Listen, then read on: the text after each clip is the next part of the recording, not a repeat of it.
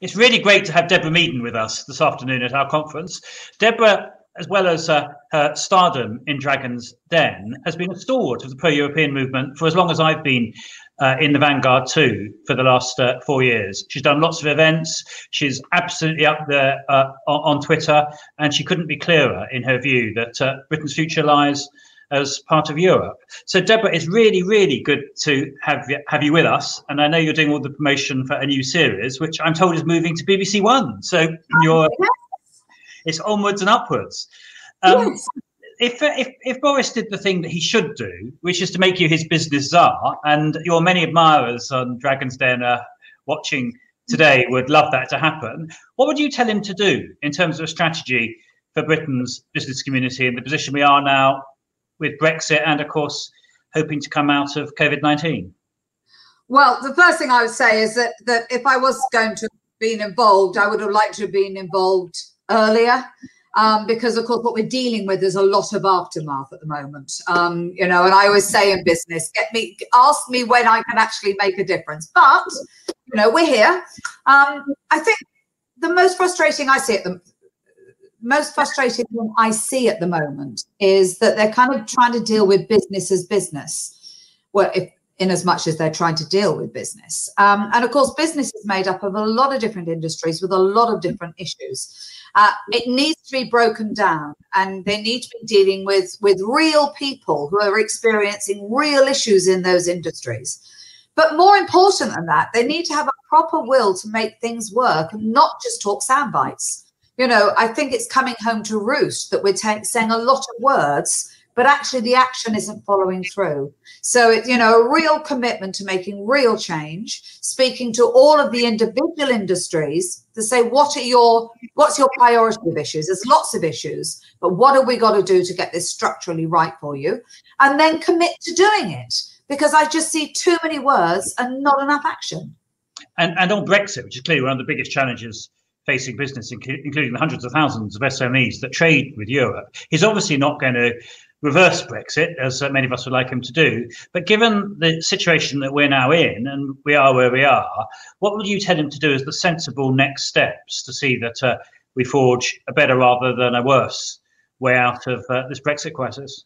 Well, I think there's, there's, the technical issues, so that we weren't ready. It's it's really simple and it's very very obvious. You know, um, businesses didn't know what to do. They were told to get ready. Absolutely no idea what that was. So we need a clear path on. You know, these are the systems and processes that you can follow, and you know that's how we can smooth the path. You know, it'll never be as smooth as open doors, but that's how we can smooth the path. The problem with that is we are way behind the pace. So we need to concentrate. I know there's a pandemic going on. I know there's a lot going on, but government has to deal with a multitude of issues.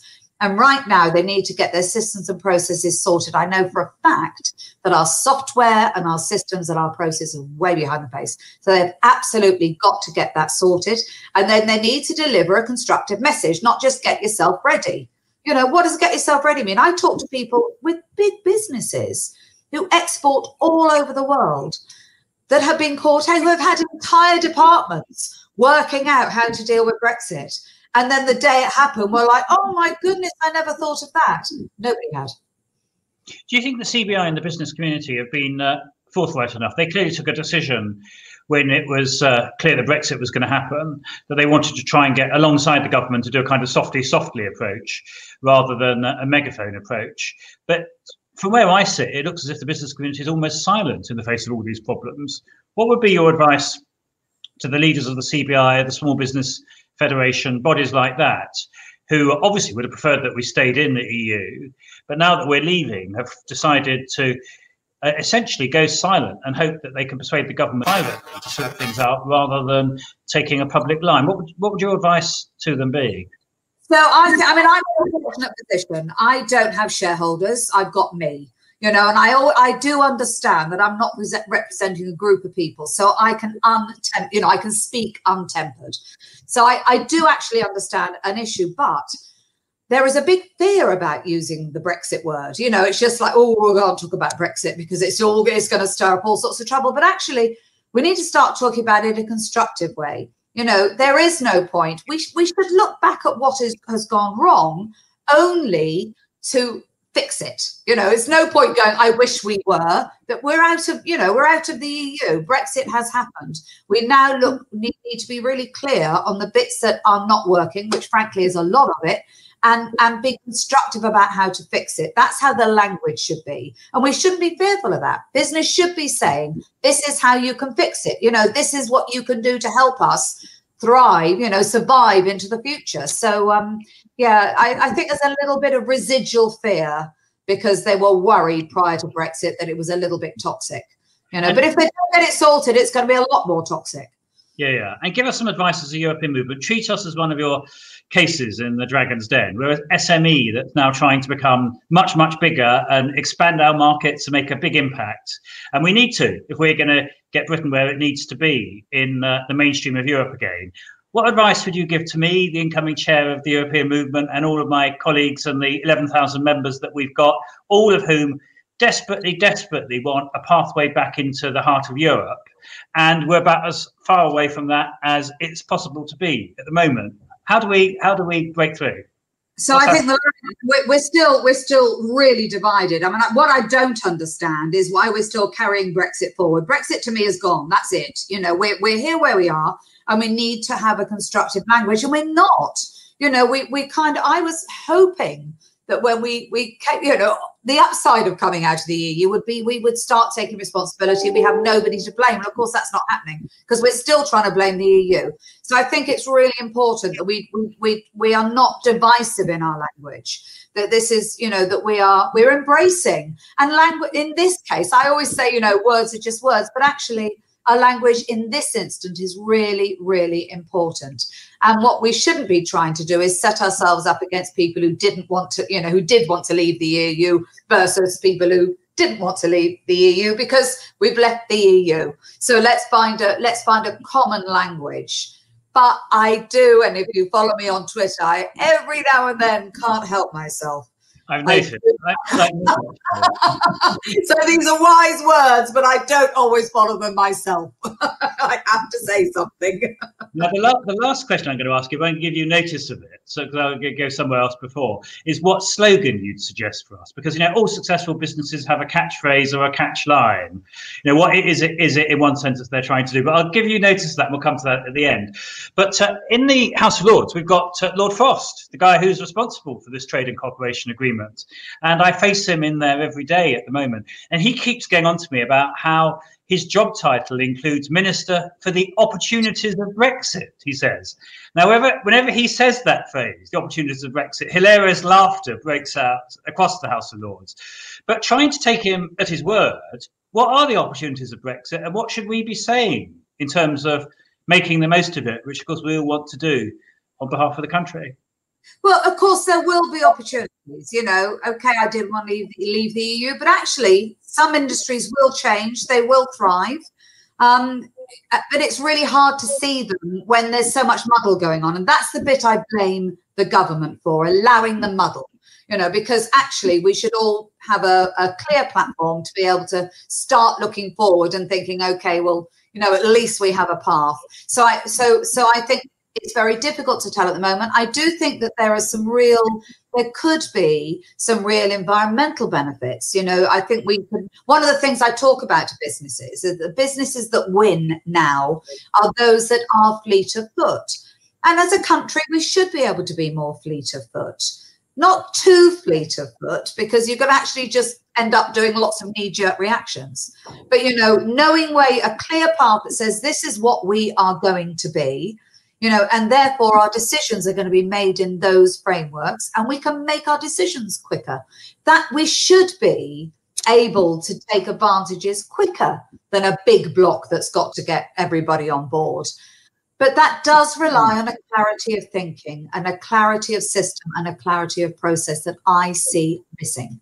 The bit the bit where of um post Brexit where we have been fleet of foot. Indeed, Ursula von der Leyen famously said that uh, the problem with the EU is it's a tanker and it can't operate like a one nation speedboat. It was quite clear she was talking about Britain in respect of the vaccine procurement and rollout. If you looked at that, is clearly the thing we've got.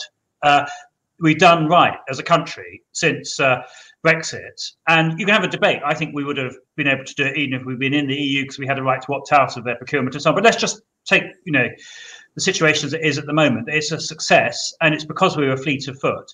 What can we learn from that specific vaccine experience, and in particular the the uh, speed with which we deployed the business opportunity of it, with Kate Bingham going out there and doing a really good job of um, of signing up um, COVID nineteen vaccine supplies. What lesson could we learn from that in our post Brexit business community? Do you think? Well, that is exactly the lesson we can learn, isn't it? We we should be able to spot opportunity. It's it's no. I'm I'm going to talk about SMEs versus big giant corps. You know, SMEs have a huge advantage that they could they their nose is very close to the ground, so they could should be able to you know sense the mood and very mm-hmm. quickly respond to that. Where giant corp, you know, they've got to change all their systems and their processes and their, you know, and the decision makers are often quite removed from the people on the ground. Mm-hmm. So, you know, we should be able to, you know, be paying attention, have a really good sense to our mood and the mood of the world going on out there and mm-hmm. absolutely go for it. I mean, that is a clear that's what we should be doing, but we're not. We are muddled and and it's actually it's fantastic the way we rolled out the vaccine. But there are there are a multitude of other issues and it's not good enough as a government to get one thing really right and completely ignore something that's going to affect the future of our nation of our next generation for, for years to come you know? So so yeah brilliant on the vaccine. Now what about the rest now, you, you see uh, new and growing businesses every day, Deborah. Have you seen any which have genuinely uh, got there because of the opportunities of Brexit? Are there businesses that you encounter out there which, being honest, because it's very important that we pro Europeans look at both sides of the coin and learn from the opportunities of, uh, of different uh, courses of action? Are there people out there who are actually spotting market and business opportunities caused by Brexit and going for it, or is is it is it a complete void? No, so I think it's very early to say that because um, a lot of the issues that that I'm seeing are caused through manufacturing. You know, one widget of a tire piece they can't bring in anymore. It has to be sourced in Italy, or you know, and of course, what will eventually come out of that is that we will we will start getting probably specialist industries of our own. I mean, we're never going to be China. We're never going to be Eastern Europe. We're not going to we're not going to turn into this, and we shouldn't probably turn into this massive manufacturing um, the country that has a massive manufacturing. Um, but I think there will be gaps filled in, you know, and, and I've spotted it in a lot of the businesses. I'm, I'm, I've invested in 19 businesses at the moment. Um, and in all of those, even with all of the work that we did to get ready, you know, there are holes and, and people are beginning to say, oh, actually, I can supply that but it's going to take me three months to sort out. Whereas I would have been able to say, well, we want it tomorrow, please, and, and it would and it would come. So I actually think it's really early, and I am keeping my powder dry. I, if you ask me now, should we go back into the EU? I would say I don't know because we've been through a lot of turmoil, and and I think to be fair, I need to see it settle down a little bit. I want to know what is happening because our government isn't on top of it, or what what actually what the opportunities could be. Now, I have a feeling sitting on my shoulder that if you ask me in five years' time, I'm going to go say, yes, please, I'd like to be back in the EU. But I am keeping my powder dry on that.